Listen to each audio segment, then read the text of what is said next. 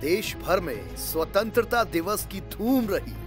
पूरा देश आज़ादी के जश्न में डूबा नज़र आया। पंचकुला में तिहत्तरवे स्वतंत्रता दिवस के मौके पर जिला स्तरीय कार्यक्रम हुआ। कार्यक्रम में स्वास्थ्य मंत्री अनिल विज ने ध्वजारोहण कर परेड की सलामी ली। अनिल विज ने जनता को स्वतंत्रता दिवस और रक्षा बंधन की शुभकामनाएँ दी। वहीं पंचकुला देशभक्ति के रंग में भी रंगा नज़र आया। स्वतंत्रता दिवस हमारे देश की एकता और संघर्ष का प्रतीक है। हिंद पर बलिदान होने वाले सभी सिपाहियों के प्रति आज पूरा हिंदुस्तान अपनी कृतज्ञता प्रकट कर रहा है।